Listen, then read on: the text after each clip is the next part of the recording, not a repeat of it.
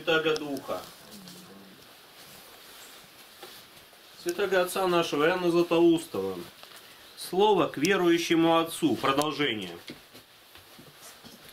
Ясно доказав это, исследуем теперь и то, кто легче и скорее может пасть. Впрочем, здесь не нужно нам и исследование. Хотя сохранение целомудрия легко для человека женатого, как пользующегося великую утеху в отношении к прочим добродетелям, и для него это оказывается не очень легким. Однако здесь мы видим падающими более женатых, нежели монахов. Не столько выходят из монастырей для вступления в брак, сколько от брачного ложа уходят блудницам. Если же миряне так часто падают в том, против чего им легко бороться, то что им делать с прочими страстями, которыми они возмущаются более, нежели монахи? На этих, конечно, сильнее нападает похоть, так как они не имеют общения с женщинами. Но прочие страсти могут и не приближаться к ним, тогда как мирян сильно преследуют и поражают самую голову. Если же монахи и в том, в чем сильнее бывает у них борьба, побеждают легче, нежели люди – не подвергающиеся такой борьбе, то они, очевидно, гораздо легче последних устоят против прочих страстей, которыми они не возмущаются. Так корыстолюбие и страсть к удовольствиям, и власти, и всему прочему обыкновенно гораздо легче преодолевается ими, нежели мирянами. Как на войне и в сражении мы называем более легкую не ту часть борьбы, где мертвые падают часто один за другим, но ту, где падают редко и немногие – так надо судить и об этом предмете.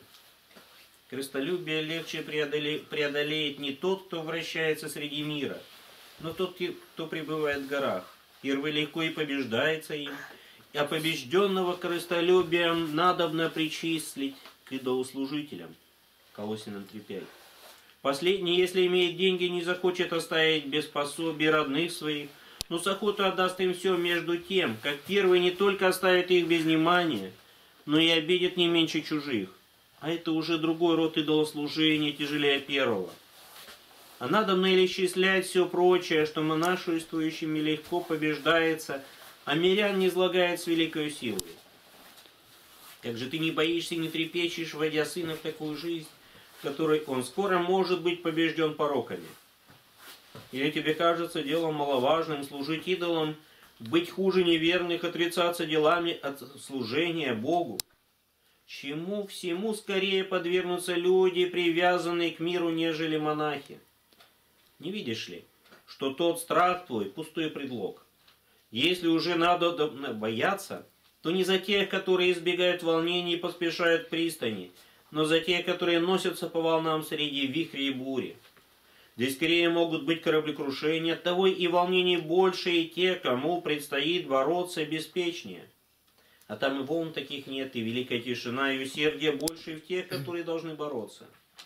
Поэтому мы и привлекаем других в пустыню, не для того, чтобы они только облеклись в волосиницу, надели на себя вериги и посыпались пеплом, но чтобы прежде всего другого избегли пороков и предались добродетели. Кто же скажет, неужели все женатые погибнут? Не это говорю я на то, что им, если захотят спастись, предстоит больше трудов, по неизбежной необходимости, потому что не связанному легче бежать, нежели связанному. Но получит ли он и большую награду и блистательнейшие венцы? Нет, потому что он сам налагает на себя эту необходимость, между тем, как можно бы и не налагать.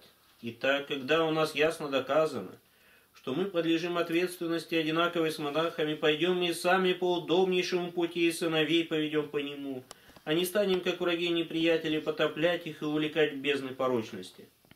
Если бы это делали другие, было бы не так ужасно, но когда родители, испытавшие все житейское, и на самом деле узнавшие, как пусты настоящее удовольствие, доходят до такого безумия, что влекут к ним других – так как им самим возраст уже не позволяет предаваться им, и когда им следовало бы укорять самих себя за прежнее, вергают туда же и других, и притом находясь уже близ смерти, суда и тамошних истязаний, то какое останется для них оправдание, какое прощение, какая милость? Они будут наказаны не только за свои грехи, но и за влияние на детей. Успеют ли они довести их до падения или нет? Продолжение следует.